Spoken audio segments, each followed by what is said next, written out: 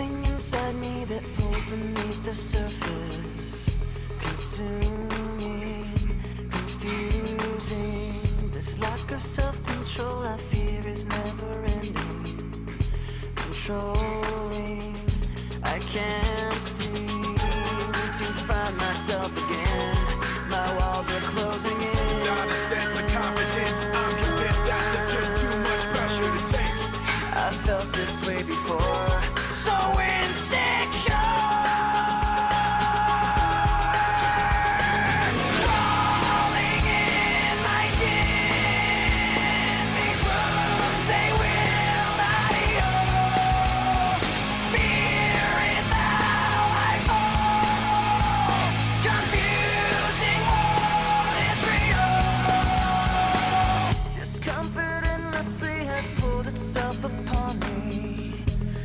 Distracting, reacting. Against my will, I stand beside my own reflection.